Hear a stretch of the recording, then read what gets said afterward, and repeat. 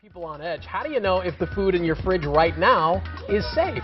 Here with more information on the recent cantaloupe recall and listeria outbreak is Andy Crouppen of Brown and Crouppen. Good morning to you, Andy. Good morning to you too. We appreciate you. You're a man of many hats, and today it's Yeah. the listeriosis hat. Right. And that's going to be, which I would love to see on you, by the way.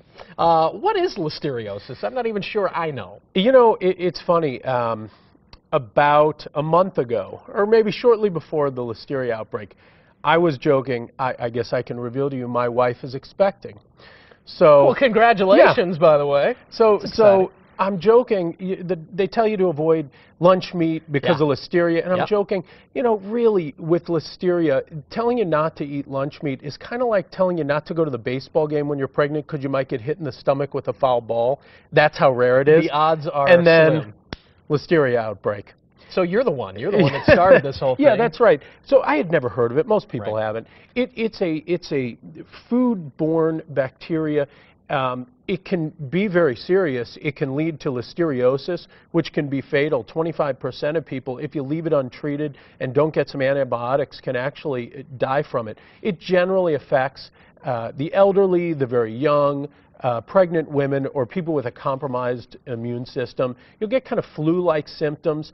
Uh, the unusual thing about it, other than nobody's ever heard of it, now it's everywhere, uh, is that it can it can incubate in your in your system for almost three weeks. So you could be exposed today, and then you know come you Right. know Thanksgiving time, you're starting to get flu-like symptoms and need to go to the doctor. Call if you have this kind of stuff. Any sort of flu-like symptoms, you think you may have been exposed, just err on the side of calling your doctor because it can be very serious and lead to meningitis. I think that's one of the worrisome, sort of uncertain parts of this story. Is you're told that everything has been taken off the shelves, the infected fruit is gone, and yet there's this lag time between when you were exposed to it and when you might exhibit the symptoms. So who knows how much longer we Hard to go. say. Yeah. I- I- you know, you can avoid the specific cantaloupes. Y- You know, after the recall, it was uh, Jensen Farms, I think, from Colorado. You can avoid those to make sure, at least with cantaloupe, Sure. uh, that you're getting the right stuff and not getting sick. But it's tough. You know, the the food production in this country has been so consolidated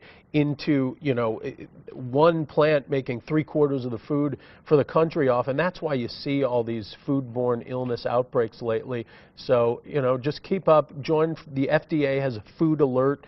Um, email that they'll send out that you can register for on their website. That's sometimes helpful, but just stay on top of it. That, you know, I'm glad you brought that up. I was going to I was going to pose this question to you. Is it perception or is it reality that we seem to be having more and more of these as time goes by? And I suppose if we're kind of centralizing the factories that are processing this food, maybe it's not perception. This is happening more often, maybe. I think it's that plus we all spend so much more time online, which consolidates also information. Right. I think we just have so much more access to it that in 1982, uh, you know, these things happened all the time. I'm sure it just, you know, there was no way to publicize it Sure. instantly to the world.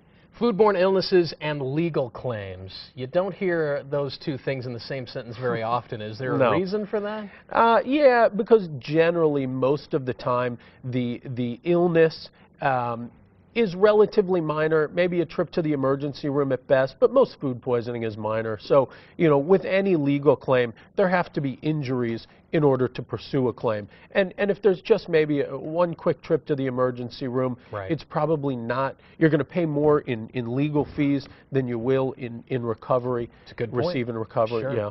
Good conversation. If you have a legal question for Brown and Crouppen, you can email us at greatday at KMOV.